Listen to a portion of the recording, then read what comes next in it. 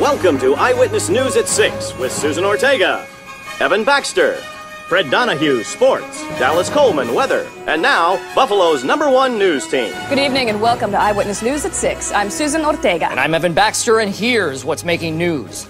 A potential scandal with the Buffalo PD surfaced today when the mayor demanded that. when the mayor demanded that the chief. When the mayor demanded that the chief of police. as a response to allegations. I'm sorry, I seem to have something stuck in my eye. Somebody get him some water, please. it looks like my new co anchor may need a glass of water. uh-huh. Oh, there we go. Sorry about that.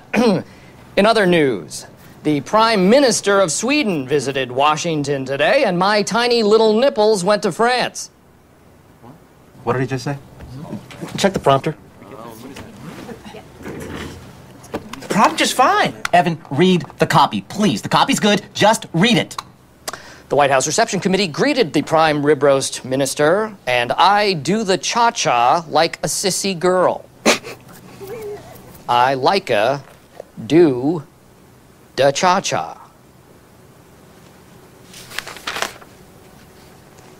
I'm sorry, we seem to be having some technical difficulties. In other news, oh, my apologies.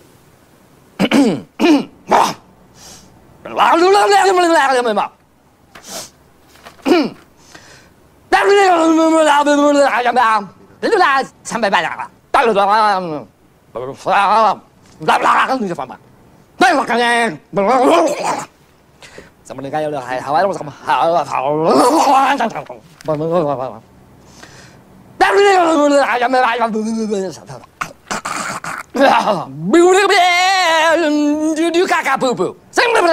Pee pee.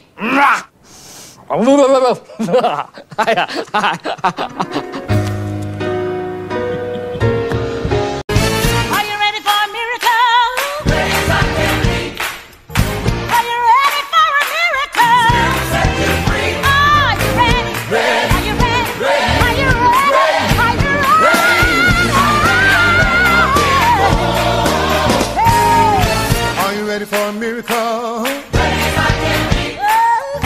Are you ready for a miracle?